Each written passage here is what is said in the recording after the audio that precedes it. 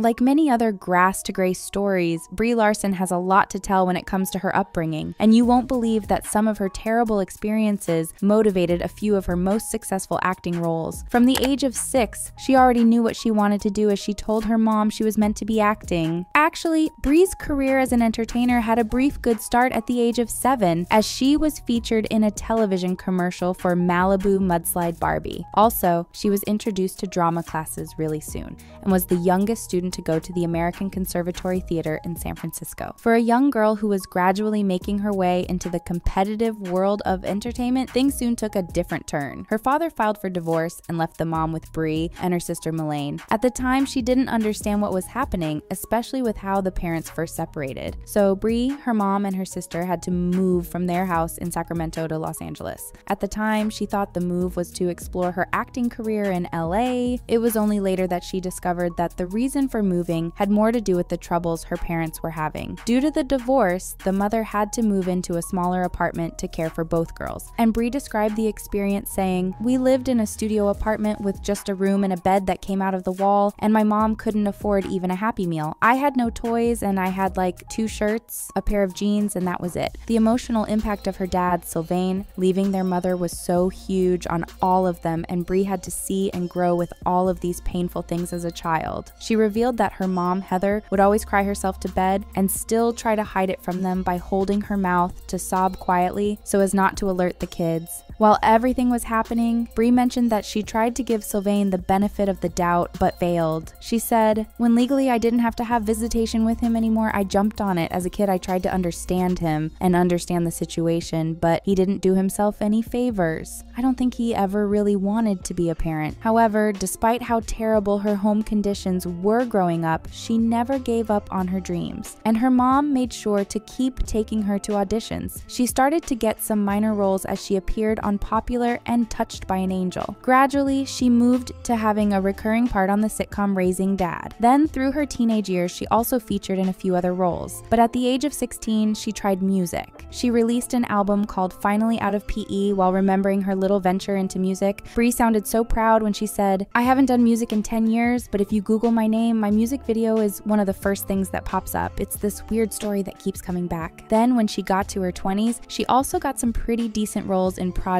like The United States of Tara and a few others. With how consistent she stayed through acting, you might want to think she didn't have it so bad, but she did. Brie never got her big break during her teenage years through her early 20s, even though she was working hard at it, and that's because they wouldn't give her the lead roles. According to Brie, she never totally fit into a package that filmmakers could use. She said, I wasn't pretty enough to play the popular girl, I wasn't mousy enough to be the mousy girl, so I never fit in. Then it got even worse for her because men started to make inappropriate comments to her whenever she went for an audition, and she honestly believed at the time that male actors had more advantages in landing a role than females. She explained that since she started growing up as a young adult, she's gotten some very disrespectful comments on how she should dress and expose some skin to look more attractive. Brie even revealed that there was a particular short denim skirt and crop top she was always forced to wear before she could get some roles. She also added that she wasn't looking plain enough to be considered a nerd, and then her entire career as an actress became confusing to her. Her experience with not fitting in was so crazy as she mentioned the lengths she went to get roles, saying, I had this anger about having to show up to auditions in heels and a mini skirt, and then I heard guys saying, Well, we have to take our shirts off. What was even more painful to her was that she witnessed other people comfortably getting roles because they fit into the narrative and dress up like the filmmakers wanted. Brie said, The script would call for the punk girl, or whatever these ridiculous cliches were, but I had never met anybody like these two dimensional characters. She also added that even her agent never believed in her, as she was told to calm down till she could fit into all the stereotypical characters. At the time, Brie just thought she had had enough of acting, but still, she fought the urge to quit and kept trying. On many occasions, she would be disappointed as feedback like she looked too happy, too energetic, and sarcastic to fit into the character was used in cutting her off. She discussed how challenging these auditions were for her when she said, The smallest fraction of a thing gets you cut, and if you have any sort of sense, you realize how impossible the situation is. Sometimes, after getting knocked down a million times, you think, Oh my god, I'm done. Then she finally got tired of showing up and being ignored and tried her hand at directing movies. She directed two, but there were limitations with financial resources to push things forward, so that barely worked out for her as well. However, the surprising and slow turn to getting successful results started to happen in 2013. Her acting skills in short term 12 caught people's attention during auditions. It was even this particular film that made her get noticed by the director of Room, Lenny Abrahamson, and it was Room that finally gave Brie her big break and even got her the Oscars. While speaking on what made Brie stand out through her part in Short Term 12, Abrahamson said she doesn't do that showy intensity thing that we overpraise in film actors. There's just this truthfulness about her and a delicacy to what she does. Also, the author of Room, Emma Donoghue, mentioned that Brie made quite an impression on her, especially after viewing her audition tape.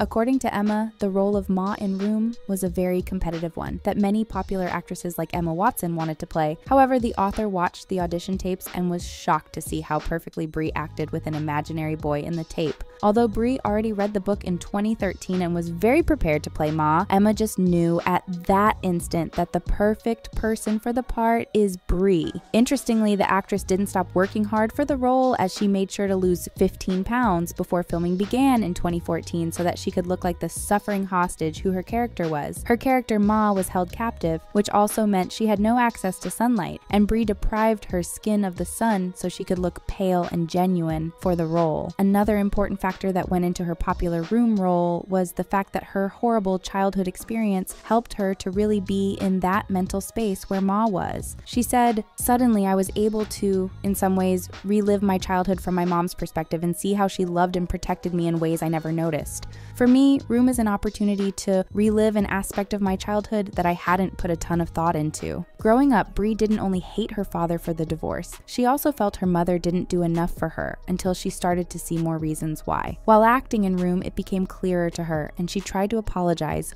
over and over again to her mother for misunderstanding how things really went during her childhood. But despite how bad the experience was, it made her know how to play Ma in Room, and for that, she dedicated her Oscars to her mother while ignoring her father as she revealed they've not been on speaking terms for 10 years. However, her dad denied that they've not spoken in 10 years and supported her during her nomination for the Oscars. Soon after featuring in Room, she got one of the lead roles in Kong Skull Island as Mason Weaver. From there, she became a major part of the Marvel Cinematic Universe as she portrayed Carol Danvers in Captain Marvel, Avengers Endgame, Quantum Encounter, and numerous other projects. So she's been very busy and even had to reject many roles due to how highly demanded she is now in Hollywood. The actress also recently played the main character in Lessons in Chemistry, which has been described as her first major exciting TV show for viewers aside from her MCU role. But that's not all, as Brie has bigger projects lined up for her, and she's very thankful to have gone from nothing to a Hollywood star. Share your thoughts in the comments, and thanks for watching.